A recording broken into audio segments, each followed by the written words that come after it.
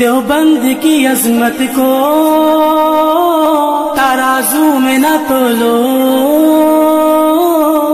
دیوبند کی عظمت کو ترازو میں نہ تولو۔ دیوبند تو ہر دور میں انمول رہا ہے۔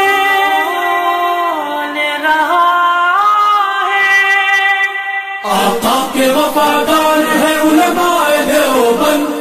اسلام کے غمخار ہے علماء دیوبند، آقا کے وفادار ہے علماء دیوبند۔ اسلام کے غمخار ہے علماء دیوبند۔ اللہ کے محبوب کے اور دین مبی کے۔ اللہ کے محبوب کے اور دین مبی کے۔ خوددار و علمدار ہے علماء دیوبند۔ اسلام کے غمخار ہے علماء